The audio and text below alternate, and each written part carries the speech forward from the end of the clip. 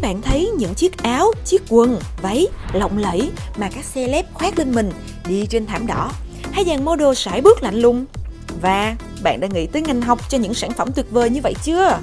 Vâng, và đó là ngành thiết kế thời trang ở HUTECH. Ngành học này sẽ đào tạo những gì? Cùng Phương Trinh khám phá nhé!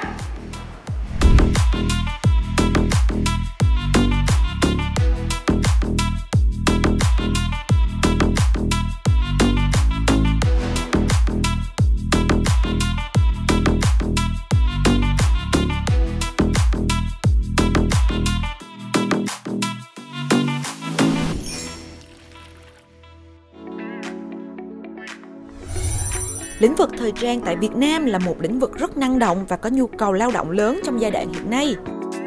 Khi chọn ngành học này tại hutech các bạn sẽ được trải nghiệm hàng loạt giờ thực hành, thăng hoa cùng với những giờ học đến từ đội ngũ giảng viên truyền cảm hứng, thỏa sức sáng tạo trong từng mẫu thiết kế hay cùng nhau hiện thực hóa ý tưởng và cơ hội trở thành những nhà thiết kế thời trang thực thụ.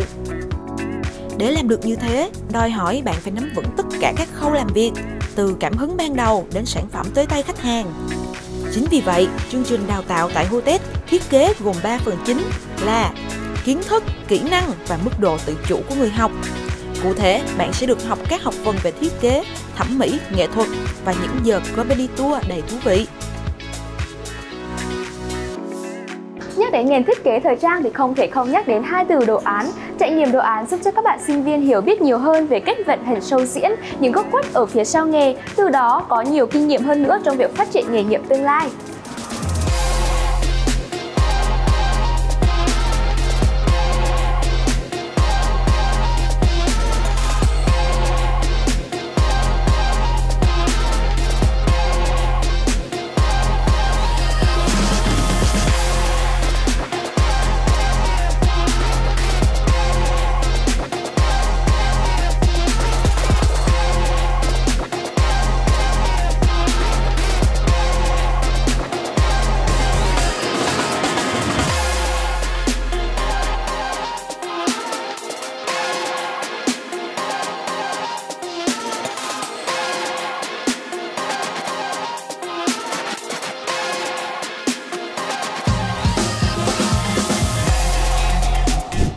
Thi thố trong trường thì chưa đã, các sinh viên ngành học này còn được tiếp tục thử sức, tranh tài trên các sân chơi lớn, cuộc thi lớn về thiết kế thời trang. Các bộ trang phục mang tính sáng tạo, tạo nét riêng cho chính mình nữa đó.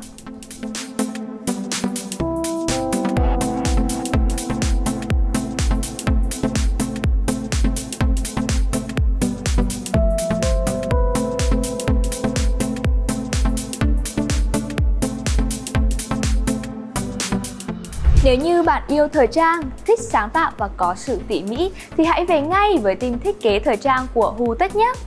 Học thiết kế thời trang, chọn HUTECH, chọn thành công!